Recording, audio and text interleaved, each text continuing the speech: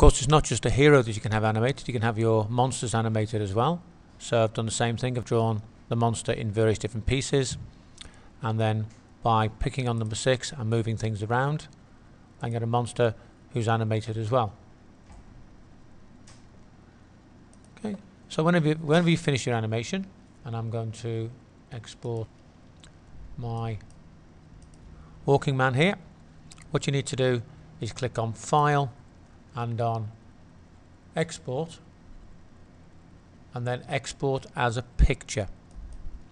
Now the type of picture you want is you want an animated GIF. So if you look on the list you'll see that here is animated GIF. Click on export and I'm going to call him walking sprite. Right because he's walking to the right. And click on save. And now you've got that GIF saved